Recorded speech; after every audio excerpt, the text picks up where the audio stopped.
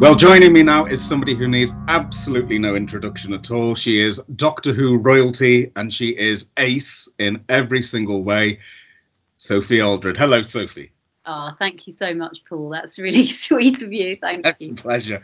How are you? How are you doing there? Yeah, well, it's a loaded question nowadays, isn't It it? is. You know, yeah. it's really um and um and I think I can I can safely say that I'm really well, really doing well as well. Mhm. Um I'm I'm grateful every day for the fact that we have a garden, that um, I'm with my family. You know, I'm with my close family, my my husband and uh, my two boys who are now 20 and 16, Mhm. and who are great human beings. You know, we we we even play board games together. And we get on really well together. So we're very very fortunate. Mm. And I guess you know that sort of what brings up for me though is people who aren't so fortunate, and you know, and I think if if people who are watching this are some of those people, then you know my my heart goes out for people who are not so fortunate from from people who can't get out the house, who haven't got a garden, who may be in like a, a one bedroom flat, which is appearing to be very confining, um, to people who maybe aren't as fortunate as I am with with family relationships and and kind of stuck in a situation where perhaps you don't want to be and uh, what do you do about that you know like i was just thinking about my son who he came out when he was 14 i think just before his 14th birthday and and of course we're you know we're very accepting and we we absolutely you know there's no there's nothing there but Mm. for, i know that for some people and uh, some parents wouldn't be uh, like that, you know, and, and it's very, very difficult. So people who are maybe having to hide something or uh, feel that they are not able to express themselves how they really want to be, I think it must be very, very hard for, It must be. It must be. yeah. How do you uh, how do you relax if you're ever having one of those days when you think, "Oh, of the world is here"? How does Sophie Aldred actually just try and shake all, all of that away? That's a really good question, actually, because my husband's always trying to get me to relax.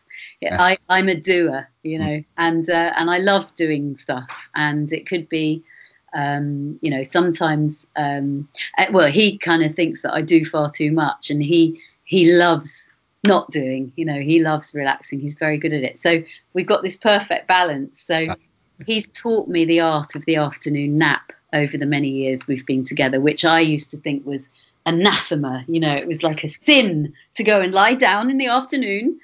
Um, so yeah, I, I sometimes take myself off for a little nap, All right. or um, I mean, I, I'm I've got lots of things I I love doing. Um, at the moment, of course, the gardening is just oh, I'm really enjoying that. Mm. This morning, I've I um I've just been putting plants, digging up bushes and putting them in slightly different places than you know, get them to have a bit more light and things. Looking after those. Um, what else do I like doing? Um, well, I'm watching RuPaul's Drag Race at the moment with my younger son, who's an addict. um, and what else do I do? Just yeah, playing board games with the family. We we love doing that. We're doing. Uh, we've got a bit of code names going on at the moment. We've done a bit of Sheriff of Nottingham the other night. Uh, we also like. Um, there's a great game called Avalon, and there's one. Oh, what's it called again? It's oh, Betrayal at the House on the Hill. I can never remember the name. That sounds wonderful. That one sounds yeah. terribly dramatic. That yeah but it's it's uh, and reading reading i absolutely love a good book there's nothing like a good book oh and yes my my eldest son is here in the background giving me hand signals. um, we all decided at the beginning of this to take something on like so many people have done you know a kind of new skill Mm. and so i've been learning very slowly and and um, painfully the guitar so i can do i can do chord four chords now Right. Um, I'm I'm I'm not very good at it, and I'm not very good at not being very good at stuff either. okay. Could this be a skill that we will see on the convention circuit in a few years, maybe? I very much doubt it. well, so can I ask then? I mean, you're obviously a, a, creative person, which you'd expect with you working within the performing arts. Um, were you a, were you a very creative child? Can you can you remember? Can you remember when creativity and performance first became something that's important to you? I'll tell you something really funny. I was cleaning out the garage the other day, which is something else I was really enjoying doing. Um, and I found a couple of shoe boxes, uh, and I'd forgotten that they were there. I hadn't looked at them for a while. And they are letters from my mum to my grandmother, and my grandmother to my mum mm. from when I was small. And, and me and my brother were growing up. And they're just, they're like gold. They're like, they they're both incredibly good writers they really like they write exactly how they talk so i can hear their voices as they're writing and there's one i came across which struck me which was um, i think i was about three and a half my brother was about one and a half and we went to stay with my grandmother who uh, and grandfather who lived up in south derbyshire in ilkeston near mm-hmm. nottingham and uh, i used to love going up anyway she describes in great detail throughout this letter. Um, apparently, I was watching Wimbledon and I'm three, and she said there's a, an American player called Richie, surname Richie. She said, with a horrible buzz cut. Um, she, she, was very much into appearances. Um, and she said, I didn't like him at first. And then all of a sudden, she said, I, I absolutely, I became this persona and I had to be called Richie. And then one morning she, she says, um, so Sophie came down this morning wearing um, uh, um, her grandfather's cap from prep school, a tie around her neck, and carrying about three tennis rackets. And f- about 10 days later, she said, I can't believe that she's still keeping this up. Mm. This, this, this character, basically. Um, I refused to be called anything but Richie. So if people called me Sophie, I was absolutely, you know, they were like, uh, yeah, they they were persona non grata. Mm. And it describes this all in. So I think right from such an early age, I was playing parts. You know, I don't know where that came from or why, but there was obviously something that I saw in this character of this tennis player that I wanted to be. Were you were you playing parts or believing them? Because that sounds a bit deeper. Yeah. yeah. yeah. Yeah, that's true. It's almost like method, isn't it? Yeah, it is. Yeah, from Which, the persona. Yeah, and that's I, I was going to ask this a lot later, but I'll, I'll jump to it now. Um, there's two moments, um, uh, both in season 26 of your Doctor Who. Um, two moments, um, one in studio, one on location, which I find totally believable. Um, and one of those moments is when you have a bit of a breakdown in Ghostlight and end up on the floor. Um, and the other is when you say the line, I didn't know she was my mum at the end of The Curse of Fenric.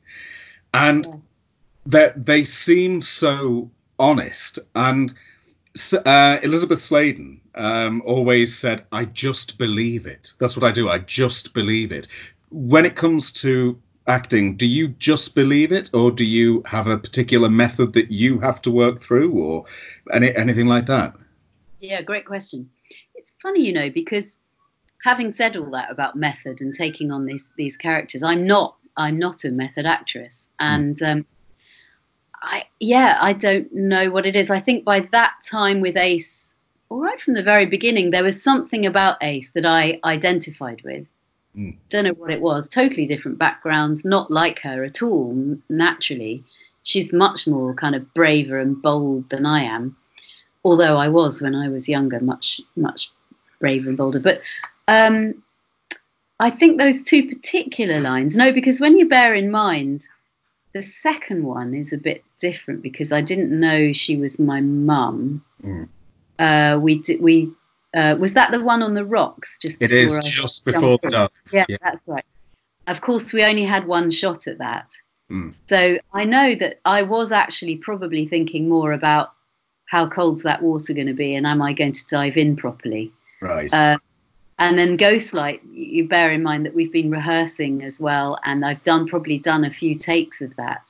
Mm. And I think that's the difference is that you, I don't know, I think I allowed the character to take over. Mm. I don't know, I just kind of knew how to do it, if you know what I mean. I can't really analyze it, I can't really explain it. Yeah. Well, it can just be such an instinctive thing, can't it? I, I suppose. I think w- what fascinated me with the two, obviously, you've got um, one on location, but the other in studio. Um, and I think it's a, a handheld camera, one camera just on you, crumpling to the floor, and a blue light that looks like it was uh, put in live in the studio. And yet you have to react. Is, is were you able to do all this? Bit, do you think it's because um, Doctor Who was rehearsed, which doesn't really happen now? Was it was it down to rehearsal? I don't know really. No, I don't think so. I, I always thrived on. I think it's attention seeking. I always loved having an audience, and uh, and and if the audience is like uh, 500 people in a theatre or uh, four crew members standing around holding a blue light, you know, or whatever, that that's that I, I don't know. There's um, I've never found it difficult to to do. I suppose I've never I've never really um, questioned why it is. Um, I don't think it was about rehearsals. I, I'm one of these people who um, I actually like first takes. Mm. And I've had to really learn how to slow down. Really, um, I've noticed as well with um, even doing jobs around the house. I'll always be thinking ahead to the next thing, you know, uh, and actually being present in the moment, even like you know doing the washing up or something, is actually very satisfying and very much more. Um, I don't know, much more meditative in a way. Yeah. So I've had to learn not to uh, right do it all on the first take, Mm. and then be trying to repeat something that that I found on the first take. Mm. Um, especially because other actors um, are often better on their second or third take. yeah. So I've had to kind of learn how to do that really. Okay. Can I ask about rehearsal? Mm. Because to to a fan, uh, if you say the words Acton Hilton, it's like a, a magical land. Presumably, it wasn't like that if you were actually in there. Um, but could you tell me about the uh, an average rehearsal process on a show like Doctor Who, and and what it was like to actually be able to drill down with these scripts and and, and work them out, uh, and what difference it made to the show? Well, it was a bit like a magical land. For me, I'd never experienced anything like it before, obviously. So um, you get to North Acton uh, tube station, uh, which is now all built up and it's got all these fancy blocks of apartments around it. But uh, in the day, North Acton was a kind of industrial place and uh, not a very salubrious part of town to go to. Mm. So, you know, you get off the tube, you walk up the hill and cross the road, and then you go into this tower block, in effect, a sort of, you know, 1960s, I guess, tower block. And there's a thing over the door, a canopy which says BBC, and you walk in, and there's the security guard there, and it's all very um, corporate, very, I mean, not corporate that we understand it now with logo and things like that, but just very, very bare and 60s. Yeah. And then big lift, go up in the lift. And then there's these big rooms, uh, which are all the rehearsal rooms, diff- differing in size. And um, and they're bare, they're empty. There's windows all along one side, like in a tower block, Mhm. um, and they're they're great big rooms. And then you'd have a table for that. You'd go for the read through initially. So ev- all the actors, and then uh, John Nathan Turner, the director. Um, uh, I can't remember who. Oh well, Andrew Cartmel, script editor. Mhm. Um, maybe the lighting cameraman would be there. Costume designer, set designer, uh, makeup designer would all be there with the actors around this table, and then you'd sit and you'd read the script, and you'd kind of um, you'd be eyeing up the other actors, you know, uh, how famous are they, or you know, or I, I recognise that person. Um, and then um, and then so that would be the read through, and that would be, uh, and then I can't remember whether we'd go straight into rehearsals or not, but you would usually have like it would be broken up into who was there on which days because hmm. uh, obviously you couldn't you didn't want the whole cast there sitting around if they were they were only going to be used for one scene in the day yeah. so you have people coming and going um, and then the the room would be marked out with bits of tape on the floor to represent different areas of the studio or location and then they had these i remember these metal poles which had a sort of round base and were just a metal pole and they were like corners of a room or used to denote various places. Yeah. And then they actually had a sort of um, a mock-up of the TARDIS console, which was uh, just sort of like um, a bit of plywood and uh, you know, but very rough. Mm. And then furniture, so you know, old school chairs and things, and rickety old tables and things, which which the floor assistant and the stage um, stage manager, in effect, would use to delineate the, the different parts of the set. So then it was always quite a shock when you got into studio and you weren't working with these old school chairs and, and metal poles. They were actually the set. So that was always very exciting to see. Oh, wow. Yes, it looks real now. Yeah. Um, what was it like that first day uh, when you went along to TV Centre, famous building, mm. and you don't just go into a studio, you go into TC1, biggest studio in Europe, and and there's you on your first television job. What was the what was the emotion like for you for you as an actor? I suppose was it excitement or, or fear or both? A bit of both, I think. Um, I remember just what what was wonderful, of course, was that we'd had a, a week or whatever it was of rehearsing, so I knew Bonnie and Sylve quite well by then, and um, uh, the makeup designer and the people doing the set and so.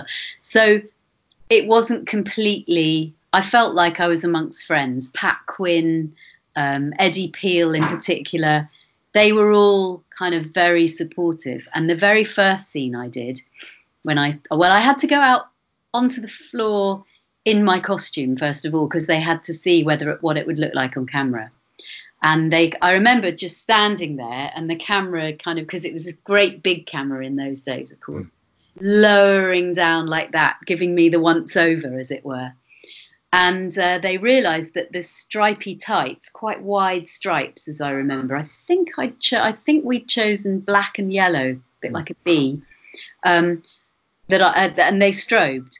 Uh, so I uh, that wasn't going to work. So I had to go off to the little costume place because um, by the side of the the um, uh, the studio were places where makeup was done, where costume was done, and so on.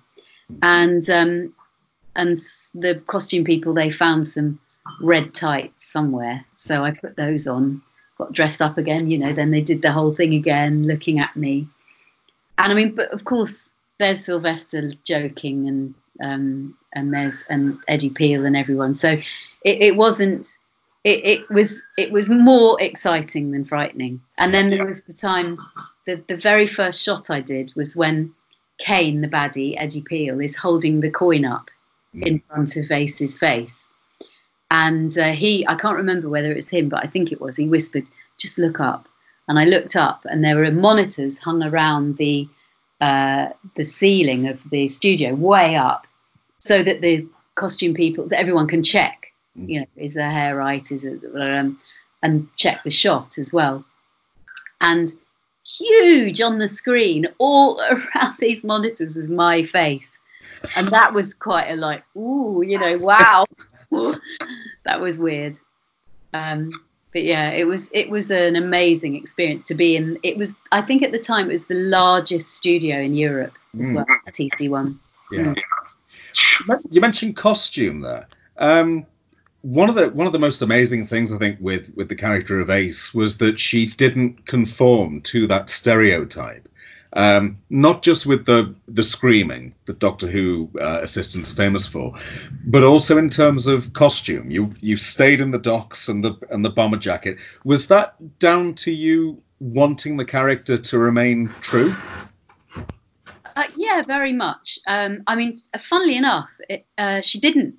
I wasn't in docs uh, for most of the series. Oh. Funny, that's what that's what we always remember, isn't it? Yeah. But then looking back, um, actually, I was wearing boots. I, these boots, but they weren't docs. Ah. Were from I remember they were from a shop called Hobbs, and they had those um, like ski boots. They had those eyelets that you did the laces up round. I've still got them somewhere in the attic. They don't fit me now because my feet have grown weirdly.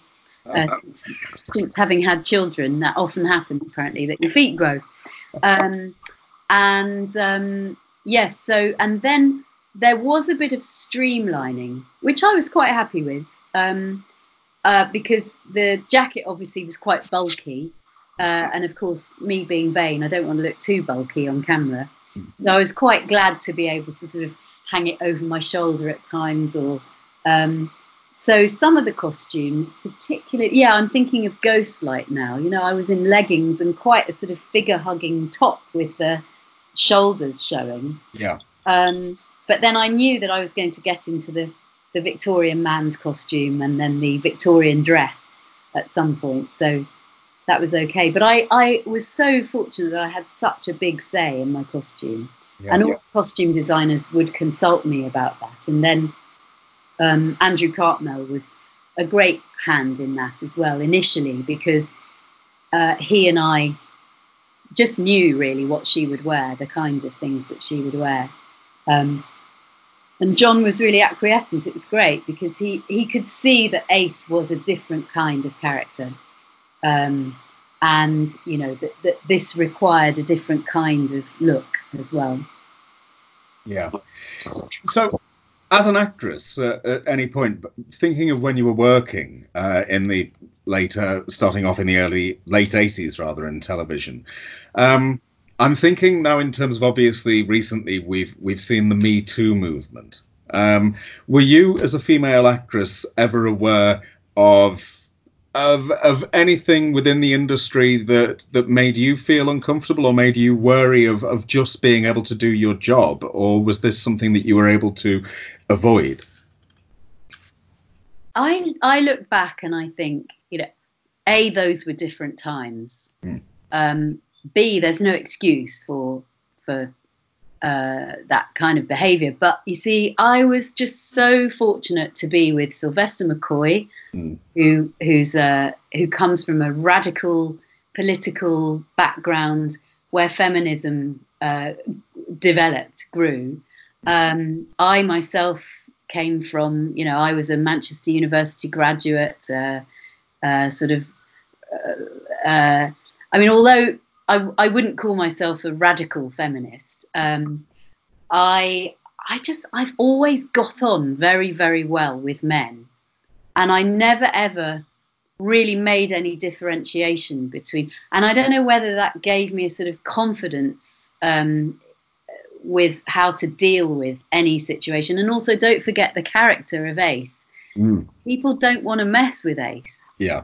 Um, you know, so all those things combined was that, of course, sexist remarks were rife, but hey, you know, that that was it, it, was a different generation. I was just talking about this the other day, um, and I was talking to it about it with the boys, and it seems extraordinary now that that we used to say certain well racism, sexism. Uh, uh, but it was just a it was a natural naturally occurring thing in family you know you it was just stuff that you'd say mm. um, and then i luck i was at the beginning of right consciousness mm. um, and having said that no i never experienced anything certainly in my television career i had experienced there's one thing that i experienced um, early on when i was I auditioned for a one woman show of St. Joan. And uh, there was a director who seemed a bit odd, but you know, you're young and this is still goes on, obviously. Um, sadly, you just think, oh, well, you know, I got the job.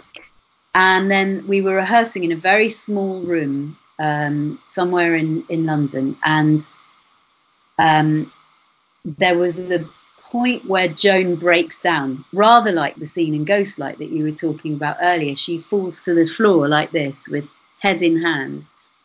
And I was suddenly aware of this guy was very large and he, he walked with a walking stick. And I suddenly felt something at the top of my leggings.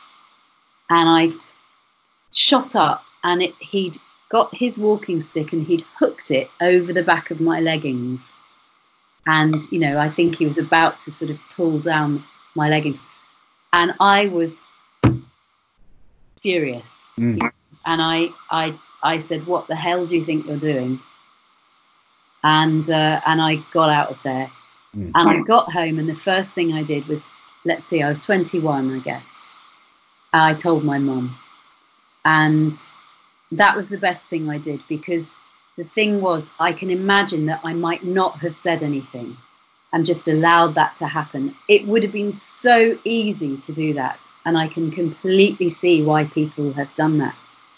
Um, and she was great because she was quite light about it in the way that, right, you know, we called this guy a a, a, a silly name, and, and it kind of it allowed me to let go of it. Yeah. And then yeah. Thought, right, what what's the action I can take? So I wrote to Spotlight, I wrote to the stage, which is where I'd done the uh, seen the audition. I wrote to Equity, and I I spread this guy's name around everywhere. Um, and I talked to other young actresses about, and I then found at an audition for something else, somebody uh, a girl said, "Oh yes, I did I did the same," and there were two of us, and we had to escape through a window. So, you know, this stuff is real and it does go on. And it's, I was very, very lucky in that I knew, somehow I knew how to handle it and, you know, and got out of there. But I'm really so pleased that we can talk openly about these incidents now without feeling, because there was a time where you sort of felt, oh, is it just me being silly? You know, should you just do this? And actually, it's vital that we do keep talking about it. Absolutely, absolutely.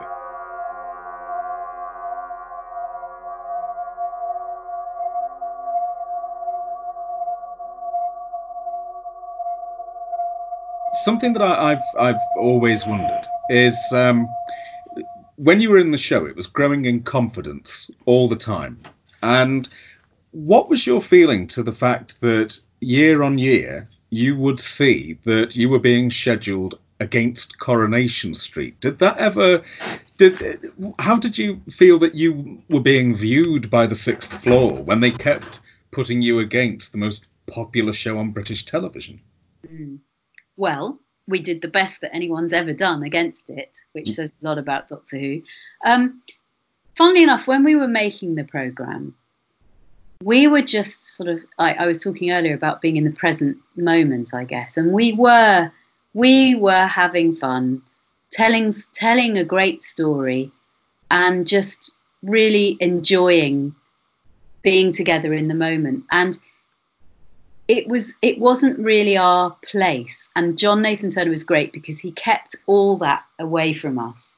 So we kind of weren't that aware. I think there was a bit of disappointment, like, oh, you know, if we were on a Saturday traditionally, or you know, what what could we have achieved with that?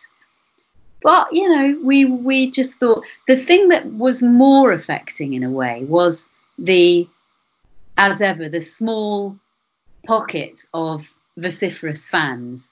Mm-hmm. Um, and I completely understand where where fans are coming from, and it's it's a it's a testament to their passion for the program. Um, but there was a very negative bunch of fans, as there always is.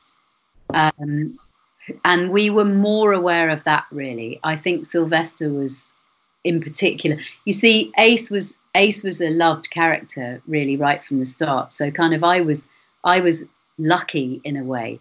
Whereas what the doctor Sylvester was sort of tarred with this brush of coming from comedy and being slapstick and everything and and he realized that very early on and realized what he wanted to do with the character, which he then developed with Andrew Cartmel. And you know, watch Survival, watch Ghostlight, watch, and even Greatest Show in the Galaxy, and uh, you know, watch season in particular. Uh, well, season twenty-five and twenty-six of his. I mean, you look and you think that's an extraordinary doctor. The darkness, the the kind of the the mystery about the doctor. Mm. Um, it's it's amazing, coupled with the lightness and the fun.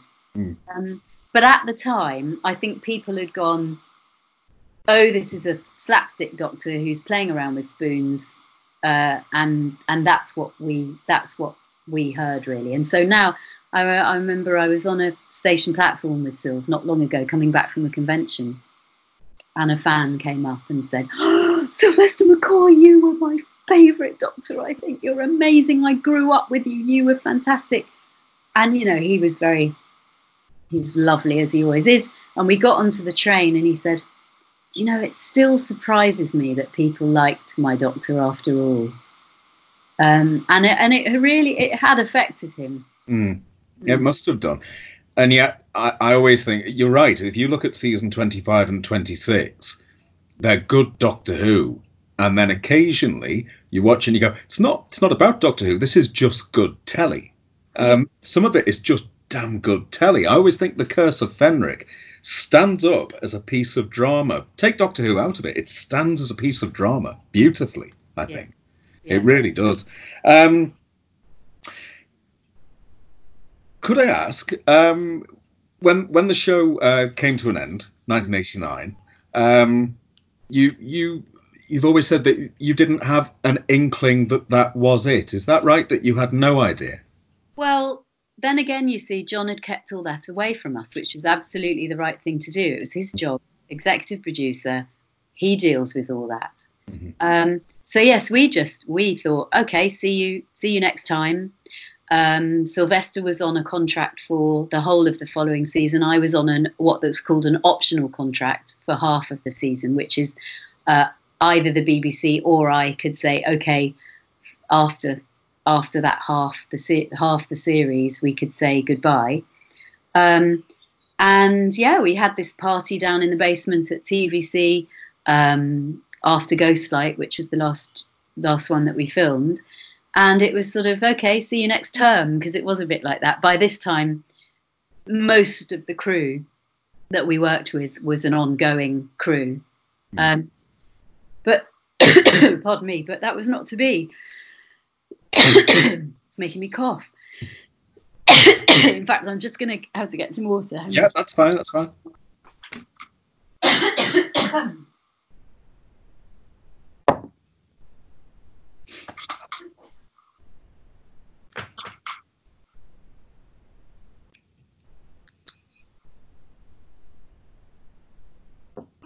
Don't worry, folks. Nothing to do with the virus. I think That's it's good. That's in the air today. Yeah. yeah. So we, it was a surprise, a completely out of the blue thing, um, and um, yeah, it was a shock. It was. Um, I mean, both Sylvester and I were very lucky, and always have been subsequently that both of us have other work, had plenty of other work.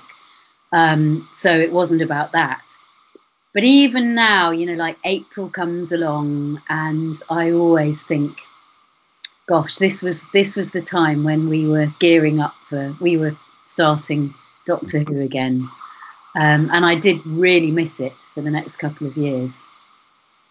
You you must really have felt totally vindicated in 2005 when the show comes back, and essentially that model is what became modern Doctor Who. Um, you you replace yourself and Sylv with Christopher Eccleston and Billie Piper, and that model, you know, survival. I think carries there's a direct line between survival and that first episode. Did you notice that yourself?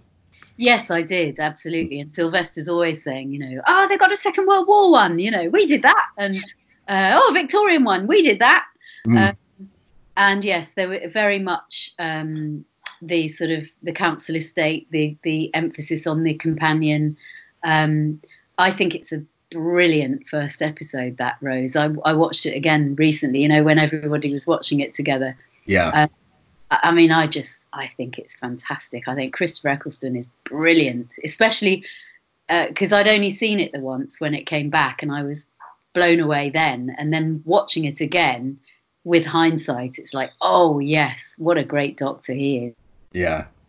And Billie Piper is just. I, I love the fact that um, uh, it concentrates on her. Quite right for a new audience for Doctor Who. Uh, you know, and and it again because when you concentrate on the companion, the Doctor is allowed to be a little more mysterious. I think. Yeah, absolutely. Well, if we could do a little bit of time travel of our own at this point, Sophie, if that if we may. Yeah. Um, you mentioned um, right at the start of our chat um, about these letters and being able to read in other characters' voices and those voices coming off the page.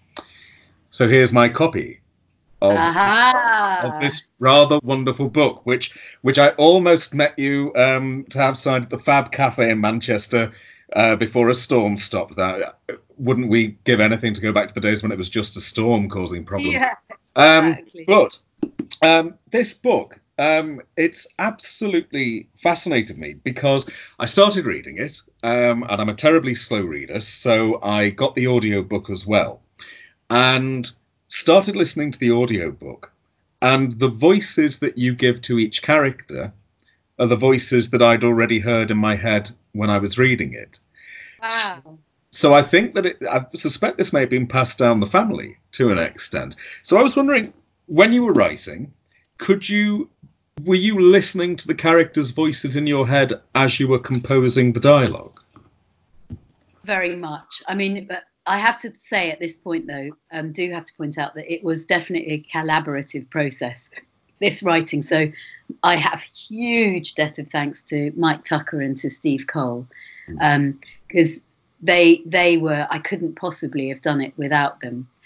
But don't forget, you know, that those the characters, the, the gang. I mean, I've been watching them on mm. on TV, so they're in my head already, and also that I have been lucky enough to have been asked to do a few Thirteenth Doctor audiobooks as well. Yeah. Um, yeah. Uh, and apparently, I do quite a good Jodie Whittaker. So, um, you know, that's that's a bonus. Um, uh, but and also things like um, Squeak. You know, uh, there's there's Adele uh, who is, yes. Uh, and although I didn't base absolutely on her voice, you know, I, I knew what she'd sound like. Yeah, I just I just guess. My husband always says to me, actually, um, and I think this comes from the past, from growing up, um, playing those characters that I used to love. Um, he says, "Oh yeah, well, what does a what does a duck sound like then when it's talking?" And I, and I just I don't know. There's some kind of I don't know. I just kind of can do it. My mm. brother and I used to play uh, uh, for hours with our dolls and teddies and so on. Each of them had a personality, and each of them had a voice. And I can remember now. You know, my my big tiny was a really bossy character and she used to talk like that. That was her voice. Big tiny tears talked like that.